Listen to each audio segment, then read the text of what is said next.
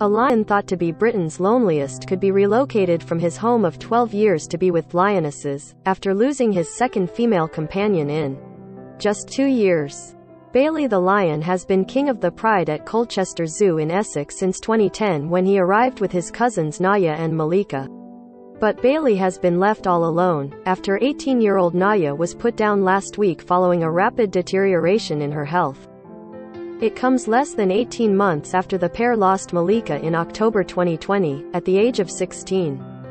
Now, staff at Colchester Zoo are keeping a close eye on Lonely Bailey and are even considering relocating him to another zoo with a pride of lionesses.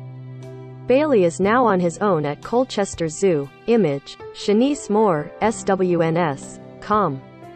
In a statement issued on their website earlier this week, zoo staff wrote, We would like to thank all our visitors for the overwhelming support that we have received following the devastating news of the passing of our female lioness, Naya, on Friday, March 4th. We have received many kind messages towards our staff, as well as concerns about our male lion, Bailey.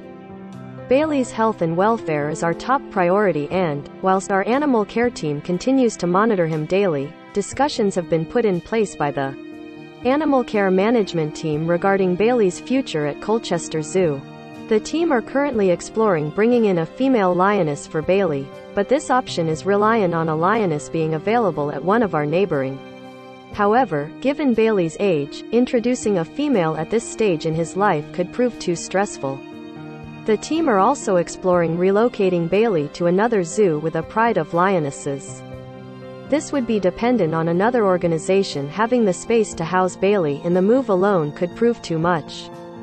Bailey has become a big part of the Colchester Zoo family and parting with him feels almost impossible and irresponsible.